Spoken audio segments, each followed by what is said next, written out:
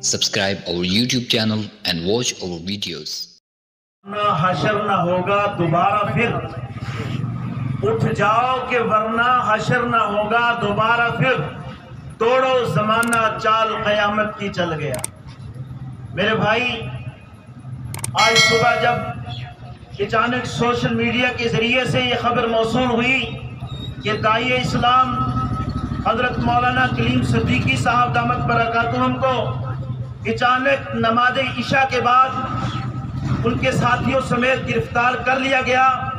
तो यकीन जानिए कि बिजली की तरह वो बात दिल पे गुजरी कि आखिर ये खेल कब तक खेला जाएगा कि वो हमारे अकाबरीन, वो हमारे बुज़ुर्ग, वो हमारे ओलमा जिनके खून का एक एक कतरा इस ज़मीन की मिट्टी में मिला हो, आज उनको इस तरीके से टारगेट किया जा रहा है और ऐसे गिरफ़्तार किया जा रहा है कि सबसे बड़े मुजरिम यही है।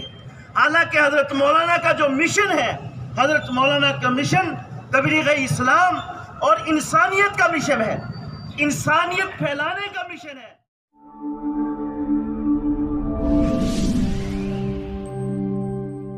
Subscribe our YouTube channel and watch our videos.